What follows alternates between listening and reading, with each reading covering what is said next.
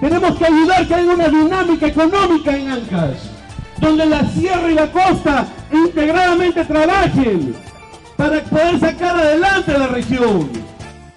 Y sin embargo, no nos quieren dar nuestro canon en los próximos dos años, porque este presidente en licencia le firmó ese documento nefasto para Ancash. Estos dos próximos años no vamos a recibir probablemente un centavo de nuestro canon.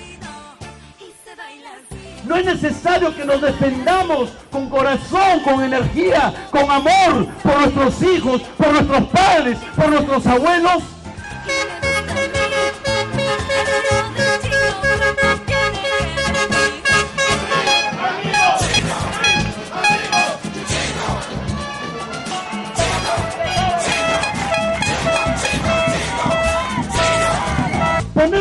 Toma por encima de Chávez Mochín. Así es, señores. ¡Adelante los ¡El!